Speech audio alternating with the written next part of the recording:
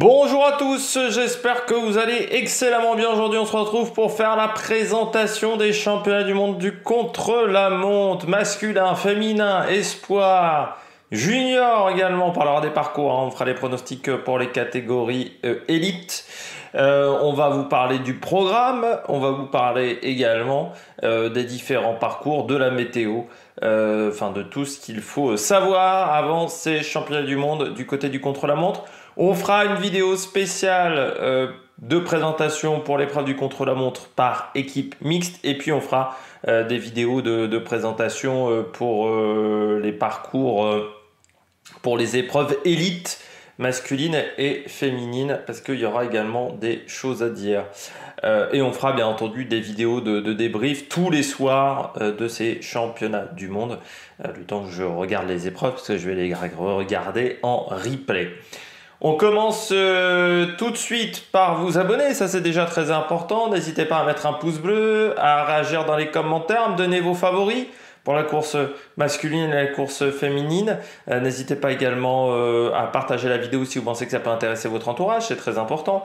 Euh, n'hésitez pas également, quand vous vous abonnez à la chaîne, à rajouter la petite cloche, comme ça vous êtes au courant des dernières vidéos qui sortent sur la chaîne, même si là en ce moment les vidéos sortent de manière très rapprochée et que YouTube a un petit peu de mal avec les modifications. Donc n'hésitez pas également à aller faire un petit tour. Euh, du côté euh, de, la page euh, de la chaîne YouTube voilà, pour voir les, dernières vidéos qui sortent. Présentation de ces championnats du monde. Nous sommes du côté de l'Australie. Et eh bah oui, c'est le jeu ma pauvre Lucette à Wollongong. c'est en Nouvelle-Galles du Sud, du côté de l'Australie. C'est à 100 km de Sydney. Et nous sommes au bord de l'eau, du côté de, de Wollongong. Euh, cette année, donc, euh, championnat euh, du monde du contre-la-montre. On a eu des parcours qui étaient plus difficiles que ça. Particularité cette année également, c'est que nous avons une course en circuit pour ces championnats du monde du contre-la-montre. Il faudra faire deux boucles d'un circuit. Ça peut poser des problèmes. La dernière fois qu'on a eu ça, c'était Cancellara qui était champion du monde devant Gustav Larsson et Gustav Larsson s'était fait dépasser par Cancellara lors de la première boucle et ensuite il avait suivi euh, Cancellara lors du deuxième tour. Donc il faut vraiment se méfier euh, parce qu'il va, y avoir beaucoup de monde euh, sur le circuit et forcément ça peut, on peut avoir des phénomènes d'aspiration qui sont plus importants que si on avait eu une vraie course en ligne de 34 km. Là le circuit fait une quinzaine de kilomètres. avec un départ toutes les minutes 30, il se peut qu'on ait beaucoup de monde à dépasser, surtout pour les premiers concurrents qui seront euh, au départ et que les phénomènes d'aspiration soient nombreux. Euh, moi, j'aurais préféré un parcours en ligne parce qu'il y avait eu voilà, le problème entre Gustav Larsson et Cancellara qui était équipier, il faut le savoir, à la CSC et euh, beaucoup avaient pensé que, grosso modo, il y avait une stratégie entre les deux coureurs pour que Gustav Larsson prenne la médaille d'argent en suivant Cancellara sur le deuxième tour de course. Donc il faudra que les commissaires soient très attentifs dans ce genre de cas. On a eu des parcours plus compliqués que ça. Il y a une bosse euh, sur ce circuit. Euh, mais en fait, la difficulté de ce parcours des euh, championnats du monde, qu'on ne verra pas sur les profils, c'est qu'on aura beaucoup de relances. Il y a beaucoup de virages à angle droit sur ce parcours des championnats du monde. Donc il y aura pas mal de relances, sauf dans la dernière partie de course où c'est une longue ligne droite le bord de la mer. Il faudra faire attention au vent, le vent qui sera peut-être de côté, qui pourrait être fort. Et puis faire attention également au décalage horaire si on ne serait pas totalement remis du décalage horaire, des conditions climatiques. Bah oui, il fait pas chaud en Australie. Nous sommes en plein hiver du côté de l'Australie. Hein. Euh, l'hiver, euh, euh, c'est jusqu'au mois d'octobre. Donc là, vraiment, on est dans la période vraiment de température les plus fraîches du côté de, l'Australie. Il va faire à 12 degrés, peut-être entre 12 et 19 degrés, notamment dimanche. Donc c'est vraiment pas chaud. On regarde tout de suite les parcours, les différents parcours. Alors, il y a trois parcours différents pour ces championnats du monde. Le premier parcours, il fait 34 km, vous l'avez à l'écran, entre Wollongong et Wollongong. Euh, c'est donc un, parcours de 34 km, euh, qui est le parcours pour la course élite homme et pour la course élite dame. le départ donc se fait de Wollongong, on arrive à Caraville, puis la côte de Frise Avenue, 700 mètres à 6,7% qui servira de point intermédiaire. On redescend vers la plage de Tovraji euh, pour ensuite passer sur la ligne d'arrivée. On aura fait 16 km 5. On aura ensuite un deuxième tour qui reprend le même parcours à part la ligne de départ voilà, qui fait qu'on perd un kilomètre à peu près à Volongong, mais vraiment le même parcours pour arriver du côté de Volongong. Euh, entre Tobrabi Beach et vraiment la dernière partie de course, c'est une belle ligne droite, euh, mais sur la première partie, on a pas mal de virages en, où il faut relancer pas mal. Ça, c'est le parcours élite dames, élite messieurs. Vous avez ensuite le parcours espoir. Hop, le parcours espoir homme, espoir dame, euh, qui est également euh, le. Enfin, espoir homme, pardon, et. Euh, parce qu'il n'y a pas de espoir dame, c'est vrai, au championnat du monde. Petite particularité. Donc, espoir dame et euh, enfin espoir homme pardon euh, et junior homme. Ce parcours fait 30 28 km 800. Ce parcours qui fait 28 km 800, vous l'avez à l'écran, euh, bah, c'est à peu près le même parcours, sauf que on enlève 2-3 km sur la fin. Voilà. Donc on le casse un petit peu sur la deuxième partie de course, mais sinon euh, c'est un parcours qui ressemble euh, ce parcours de, 28 euh, km. Voilà, il n'y a pas de, grande différence. Du côté du, parcours de 28 km. du côté de, de Volongong pour l'épreuve Espoir. voilà, on, enlève quelques kilomètres sur la fin pour avoir 28 km. 800 euh, de course au lieu des, 34. Donc voilà, c'est pas euh, une grosse différence du côté euh, des garçons.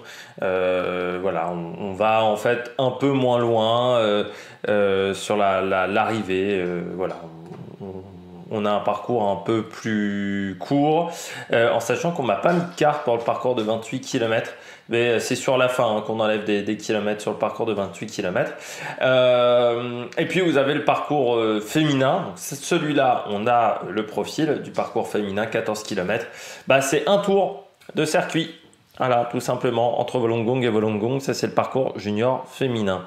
les dénivelés positifs de chacun des parcours pour le parcours élite 324 mètres pour le parcours espoir homme et junior homme, 306 euh, mètres de dénivelé euh, positif pour le parcours junior femme, 154 mètres. Là encore, assez incompréhensible qu'on ait 14 km de différence euh, entre les juniors hommes et les juniors filles. C'est la magie du cyclisme féminin. Euh, et qu'il n'y ait toujours pas d'épreuve espoir chez les filles au championnat du monde, alors qu'il y en a une chez les garçons, là aussi. C'est encore la magie du cyclisme féminin. On passe à la météo, météo pour ces trois jours de compétition. Euh, on va commencer par la météo de euh, dimanche pour les élites. Euh, météo le matin 12 degrés ressenti 9 degrés. Météo de l'après-midi 19 degrés ressenti 22. Pas de pluie. Euh, un grand soleil avec quelques passages nuageux. La particularité c'est qu'on aura du vent d'ouest qui sera très fort entre 20 et 55 km en rafale. Donc il faudra faire vraiment attention avec les roues lenticulaires, surtout chez les filles, euh, parce qu'avec les petits gabarits ça peut être vraiment compliqué avec les roues lenticulaires. le vent sera donc de face sur la première partie de course, puis de côté, de dos entre le deuxième intermédiaire et l'entrée sur la plage. Et puis ensuite, il sera euh, de nouveau de, côté euh, sur la dernière partie de course. Donc euh, voilà, majoritairement de côté ce vent. Donc ça peut être compliqué et faire attention vraiment avec les roues lenticulaires. Ça, c'est pour la météo de dimanche la météo euh, de, dimanche qui euh, n'évoluera pas euh, énormément hein. pendant la journée, les températures qui augmenteront, mais il n'y aura pas de, de grandes surprises au niveau des, des températures. Voilà, il ne fera pas très chaud et puis le vent restera vraiment similaire pendant toute la journée. Toujours un vent d'ouest, il n'y aura pas de modification du côté de Volongong. On passe à la météo de lundi, lundi après-midi pour l'épreuve espoir masculine Et eh bien là, 18 km heure, encore une fois un grand soleil, pas de risque de pluie, un vent qui sera désormais de sud-ouest euh, avec 20 euh, à 40 km heure pour le vent euh, pour ce parcours. Et puis on termine avec mardi les deux épreuves juniors. Et eh bien mardi, le vent là changera de sens. 18 km h 18 degrés toujours de température avec euh, encore un grand soleil, quelques passages nuageux, mais le vent au lieu d'être d'ouest sera d'est, il sera de nord-est. Euh, il sera donc euh, plutôt favorable sur une partie du parcours, enfin trois quarts, sauf sur la bosse où il sera plutôt de face. Donc il faudra faire attention, mais avec des températures, encore une fois, 18 degrés. Et puis le matin, très frisqué hein, pour les épreuves qui démarreront le matin, il faudra faire attention. On passe euh, désormais au, palmarès euh, de cette épreuve euh, du côté des garçons. L'histoire un petit peu des championnats du monde du chrono chez les filles et chez les garçons. Alors chez les filles, la dernière championne en titre, c'est Hélène Van Dyke qui avait devancé Marlène Rosser et Annemiek van Vleuten. En 2020, c'était Van der Breggen qui s'était imposé devant Marlène Rosser et Van Dyke. Et en 2019, c'était la fameuse Chloé Digard qui s'était imposée devant Van der Breggen et Annemiek van Vleuten. Euh, on a eu un titre français avec euh, plusieurs titres français avec Janine Longo. Il y avait même eu un doublé en 96 avec Janine Longo qui avait fini devant Catherine Marsal. Euh, on a eu Christine Armstrong euh, en 2006 et 2009, Judith Arndt en 2011 et 2012, et puis Hélène Van Dyke, donc qui a déjà deux titres, 2013, 2021, et Van Vleuten en a remporté deux en 2017 et 2018. Et puis euh, il y avait eu également Lida Willumsen, Lisa Brenauer en 2014. Et puis Amber Neben qui euh, s'était imposé en 2008 et 2016. Du côté des euh, garçons, là encore, une épreuve qui existe depuis 1996. Euh, du côté. non, là c'était U23. Bah, U23, ça existe depuis 96. Il n'y a jamais eu de Français champion du monde. On a eu Frédéric Finot qui avait fait deuxième, Johan Payot qui avait fait deuxième et Jérôme Coppel qui avait fait deux fois troisième. Corentin Hermenot qui avait fait troisième derrière Berg et Magnulti. Le dernier champion en titre, c'est Johan Prasch Petersen devant Luc Plapp et Florian Vermersch en 2021. L'épreuve, hop que je reprenne le programme, donc l'épreuve élite homme. Donc il y a eu un Français, euh, champion euh, du monde dans cette épreuve élite homme. C'est Laurent Jalabert, c'était en 97. Euh, on a Cancellara qui a obtenu 4 titres, Tony Martin également 4 titres, Juan Denis 2 titres, Philippe Ogana 2 titres également, les deux derniers titres, à chaque fois devant Van Aert. Euh, le troisième était Remco Evenepoel en 2021, Stephen Kung euh, en 2020. Euh, Tom Dumoulin, champion du monde en 2017, qui a pris sa retraite. Vasil Karienka en 2015. Jérôme Coppel était le dernier Français sur un podium, c'était en 2015. C'était du côté de Richmond aux États-Unis. Euh, et puis euh, Berthe Grabsch qui avait fait euh, la transition entre la période, enfin qui a été le seul à être champion pendant la période Cancellara, Michael Rogers triple champion du monde 2003, 2004, 2005. Santiago Botero, Yann Ulrich, qui a été deux fois champion du monde, Jalabert en 97, on l'a déjà dit, Chris Borman, qui avait remporté le premier titre en 94. On passe désormais au pronostics. Euh, du côté de mes pronostics chez les garçons, eh bien moi je parie sur Filippo Ghana euh, devant et, pour moi je parie Ghana Evenepoel. Je pense que le favori est Remco Evenepoel vu la démonstration qu'il a fait euh, sur la Volta avec un parcours on va dire similaire. C'était 31 km, là c'est 34, mais il n'y avait pas beaucoup de difficultés. Là il n'y a qu'une bosse. Donc voilà, Remco Evenepoel, pourquoi pas, même s'il faudra voir comment il arrive à enquiller après euh, la Vuelta. Et puis Stephen Kung, qui pour un podium me semble quelqu'un de, très intéressant. Chez les filles, j'ai mis euh, Hélène euh, Van Dyke, Marlène Rosser et Léa Thomas, l'américaine Toujours se méfier des américaines sur le contre-la-montre. Et puis parmi les concurrents à suivre, dans mes pronostics, eh j'ai mis Ethan Etter, Rémi Cavagna, Stéphane Bisseger. Je pense que c'est un peu long pour Bisseger. Et puis Matteo Sobrero, l'italien. Du côté des filles, j'ai mis Juliette Labou et Victoria Guazzini. Euh, du côté euh, du programme de ces euh, championnats du monde, heure française. Voilà. Il y a 8 heures de décalage horaire avec l'Australie. Eh bien, départ de la première concurrente chez les filles, ça sera à 1h35 pour une arrivée prévue à 4h30. Chez les garçons, premier départ à 5h40 pour une arrivée prévue à 9h.